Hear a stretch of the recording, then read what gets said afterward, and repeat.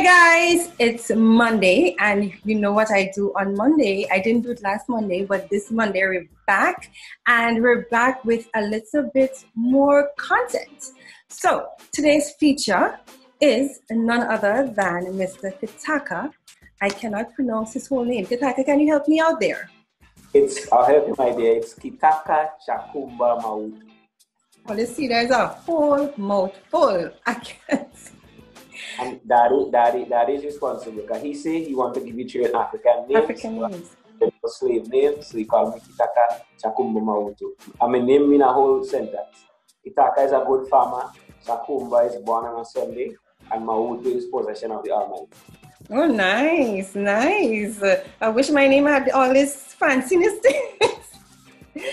but a little bit of Kitaka. Kitaka has a whole umbrella of um, things that he do. So he's a motivational speaker, the co-owner of Roots International, which is a company that focuses on helping people live a healthier lifestyle. He's also a strategist, a political analyst, educator, media consultant, a TV host, a farmer, and I'm sure the list can go on, right?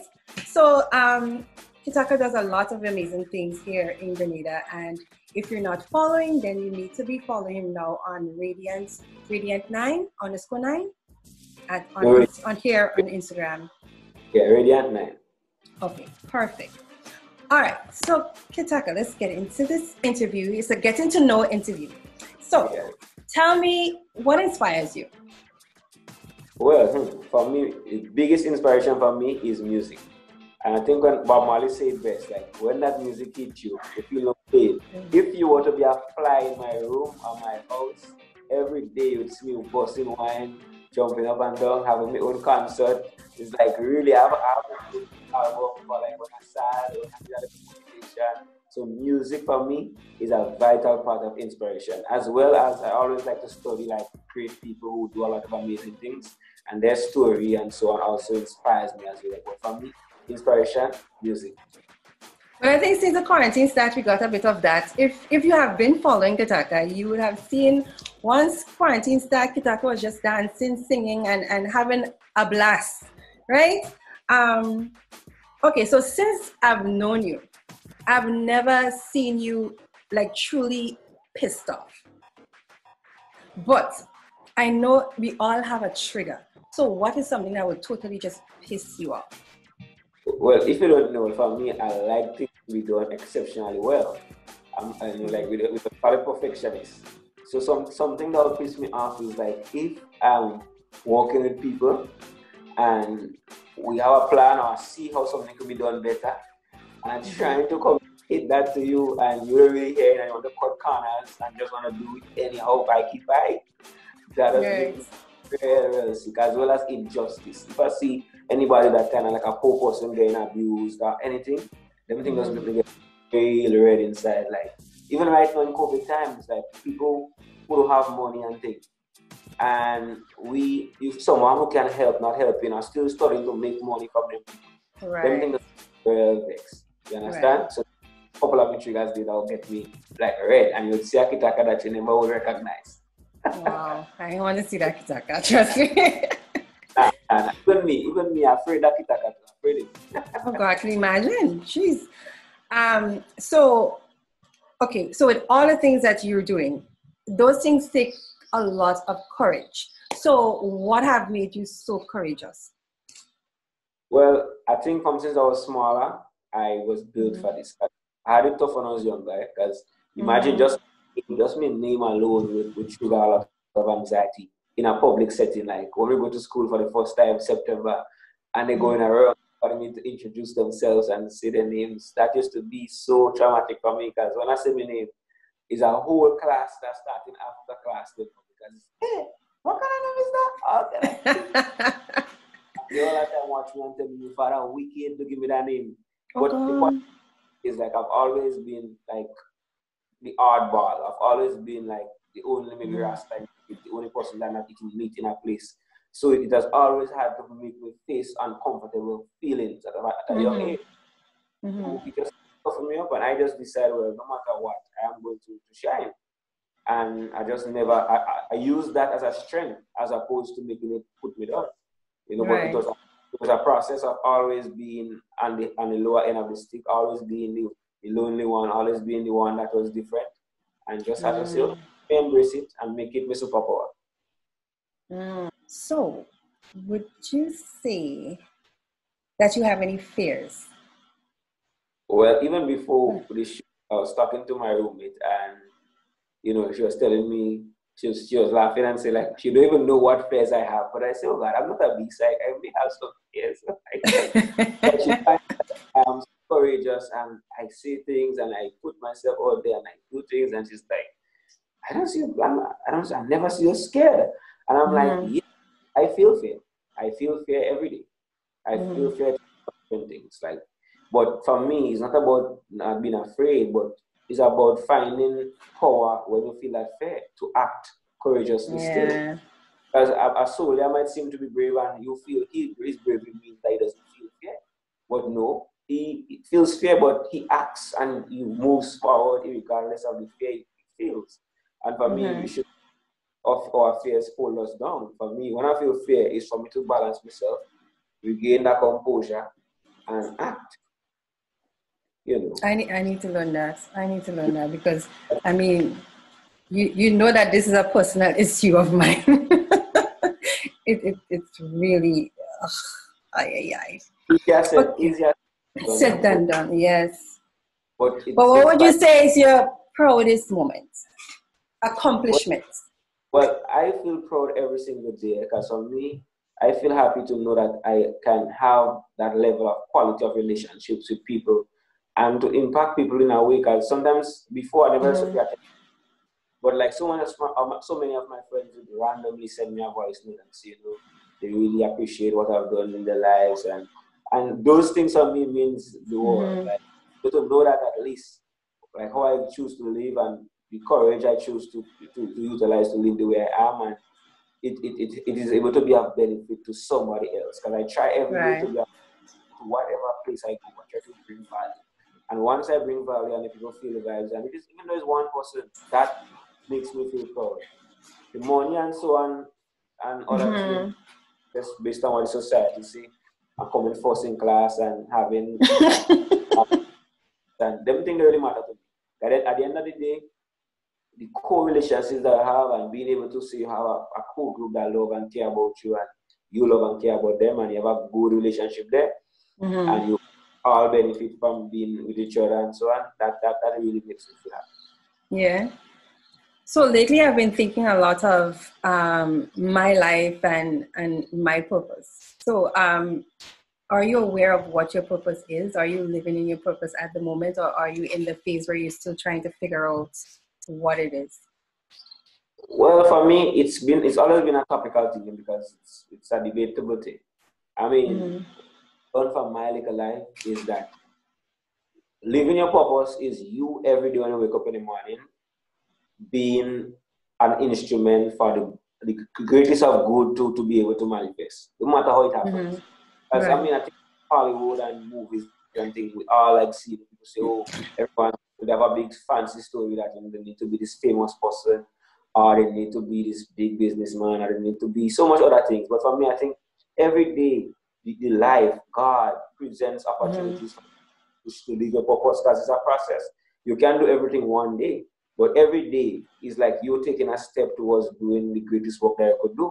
It might end up in you being some big thing. It might end up with you just being a, have your family and grow up some nice kids. Maybe you just be a farmer, whatever it may be.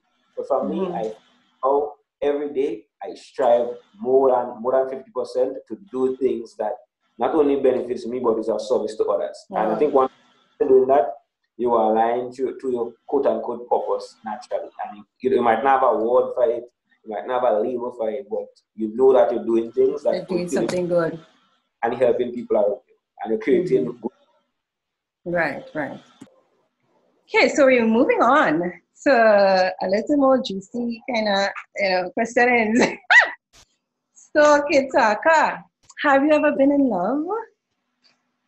Ah, you're asking me a very hard question. about that the other day too, and I'll be very real with you. I was actually thinking about that, and I could maybe think about maybe one time or twice where it was like, oh, I actually feel what people are saying feel.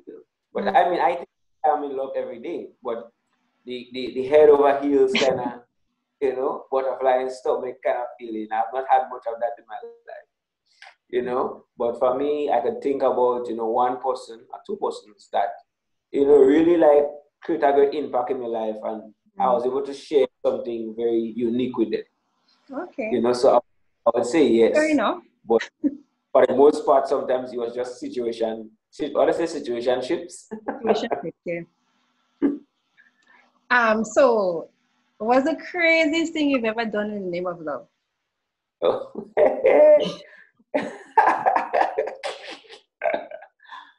um. Right. So I'll give you a story. Mm-hmm. So I met through a mutual elder friend of mine in Jamaica. Mm-hmm.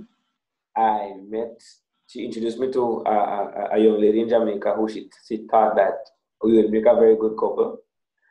And so me and us, started, we started to talk and vibes and so on. Sparks started to fly and things started to heat up.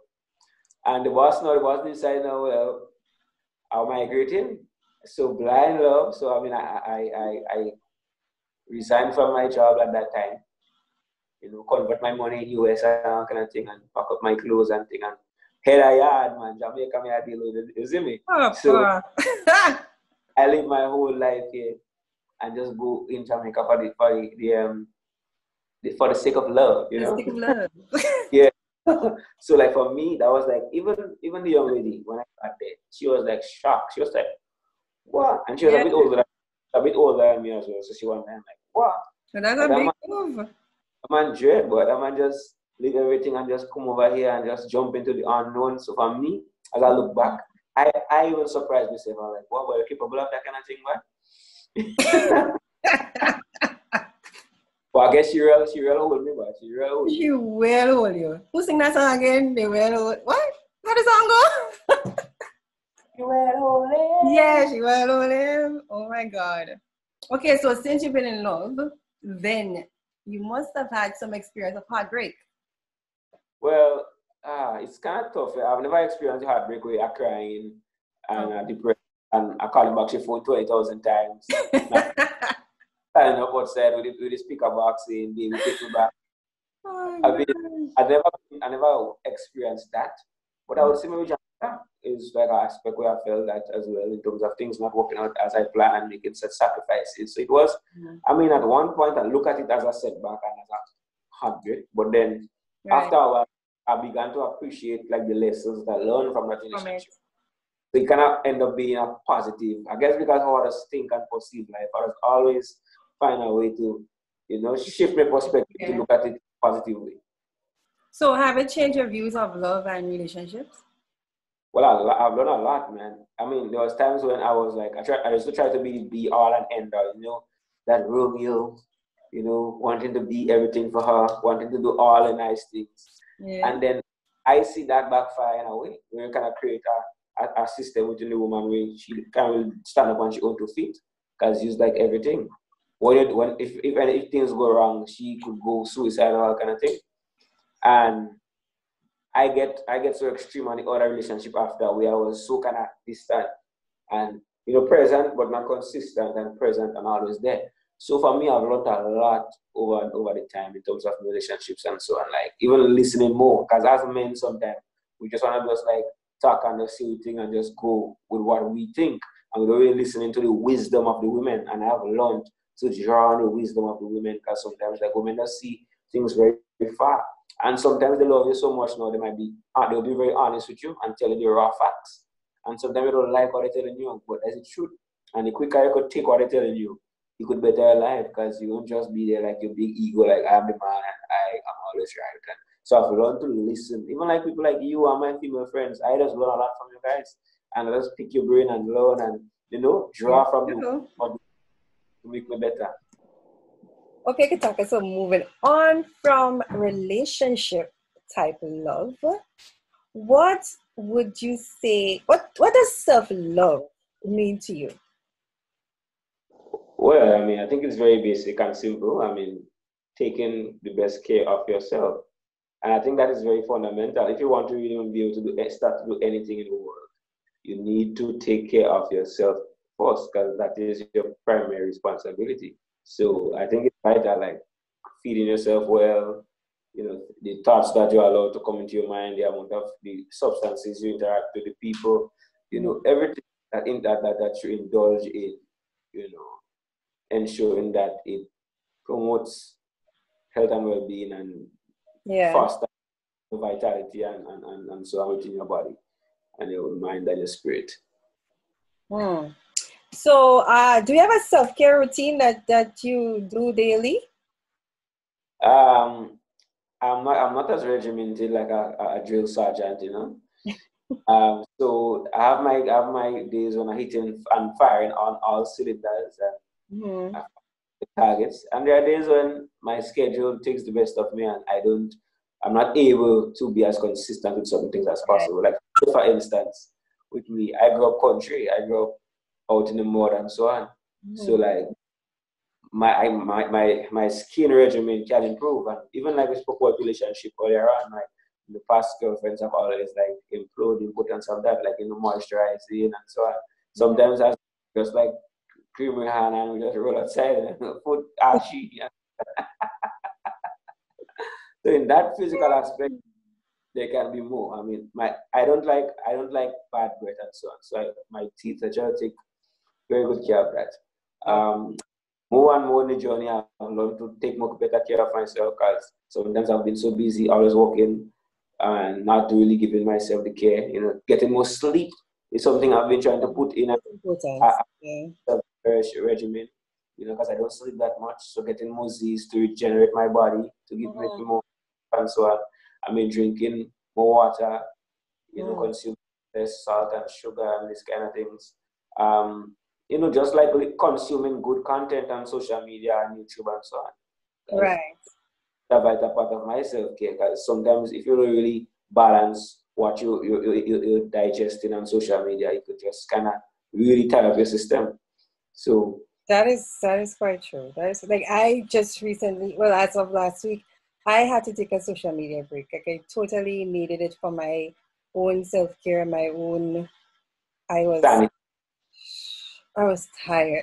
it, it, can be draining. It can be draining. It, it, yeah.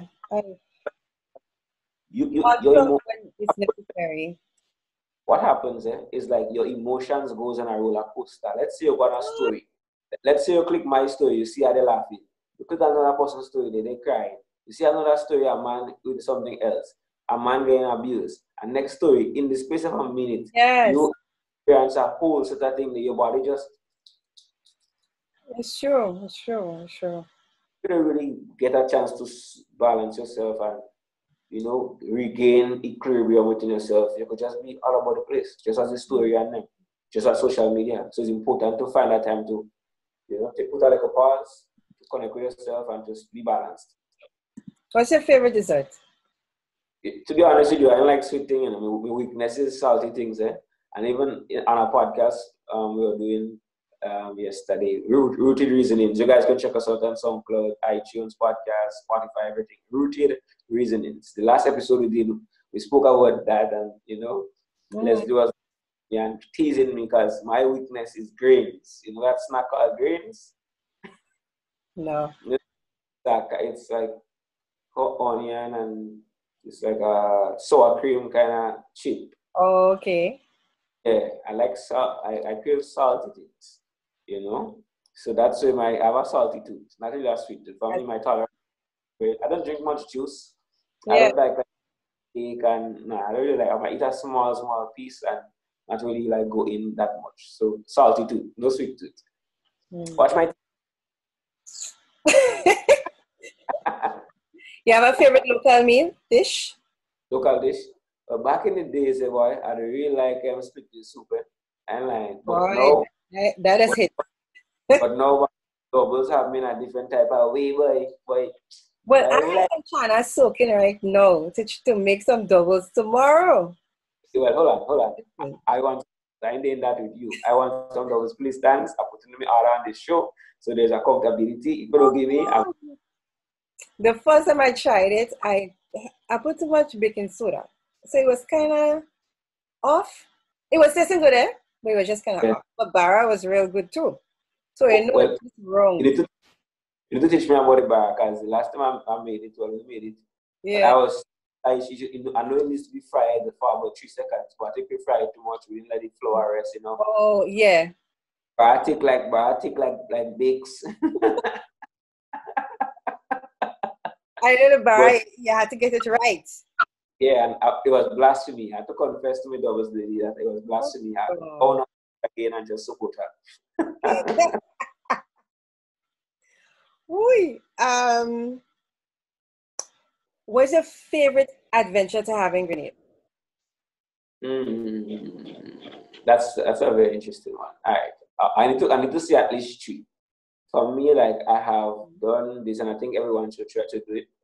Um, went up to Paradise Beach with significant other. It was a, it was a romantic setting. You know? I've never been to Paradise Beach. Slept, we slept on Paradise Beach, like out in the open. I'm saying, like we just spread our towels and I made a fire and we slept there, had the music and so on. And we scented candles and so on and slept underneath the moon in on Paradise Beach. The best part is not in the night, eh? Mm-hmm. Or in the morning, but that's so nice. Oh God! And I roasted some plantain, boy. Oh, but I, and I got to mango and you know, gone bathe for the whole three hours. I just been in the water chilling. For me, that was so great. But yeah. other than that, I like adventurous things. Like mm. I like to like. I went that time. Teddy, Teddy and I and and and Liana we went to Mount St. Catherine. I saw for spring in Mount St. Catherine. Boy. That's on my list.